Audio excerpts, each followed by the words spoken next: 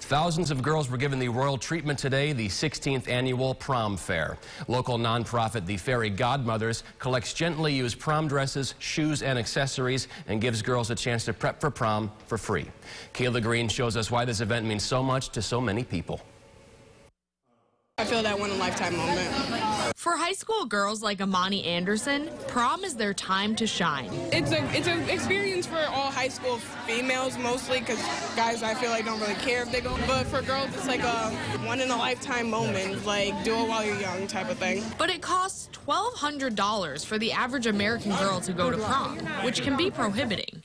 Renee Spallina, founder of the Fairy Godmothers, wanted to give every girl a shot at that perfect night. The most rewarding part is seeing a girl with a huge smile on her face that she's going to be so beautiful at her prom where she didn't think she could afford to go at first. Greece Olympia High School bussed 500 girls to the event. Student council advisor Cara Passamonte says it gave them all a good chance to bond. We have a lot of girls who just need a day of pampering and um, they work hard in the classroom and we want them to have a fabulous experience at the prom.